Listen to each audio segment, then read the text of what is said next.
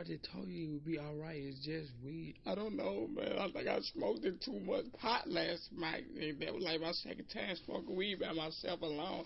And I was just having these little weird dreams. I don't know if I was too high or anything. It, I, I, I think it was perfect. 'cause Little baby, it's just marijuana. No, You'll be because I had okay. this really high dream.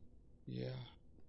You had a dream, and that dream said that once you got down, smoke this motherfucking bud, motherfucker, you gonna all see things, you gonna hear things, you gonna dream things. Hell, sometimes a dream not even gonna have your ass wake up. Your ass gonna be fucking high. That's just the side effects of the You crime. They get the side effects of the and you ain't got marijuana. no You not a motherfucking motherfucker friends, no you You gonna can't look like back you off. can't see nothing. clean. My Yeah, you Yeah, get high again. You better be lucky, goddamn. You even scare her, dude. motherfucking eat or something, motherfucker. This Alright, man, high bed and knock it off, bro. Goddamn, man, you going to motherfucking Oh, scare her, man. Who About that? that motherfucking Smoking weed business? shit, man. I Oh, told smoking her I'm smoking that. What's up, baby? Oh, nah, but you smoking It's me. business, That's you.